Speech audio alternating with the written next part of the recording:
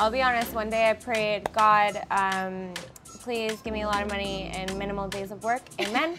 I honestly need to pray more. She's an entrepreneur, a TV personality, and the queen herself. Welcome to my Florida life. You're living the life out here. Who is this little princess? This is Coco. I'm glad you're wearing your bikini. Have you ever gone flyboarding? No. Yeah!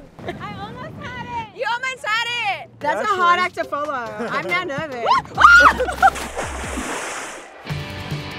and how do we do a backflip? I'll give this girl $500 to do a backflip.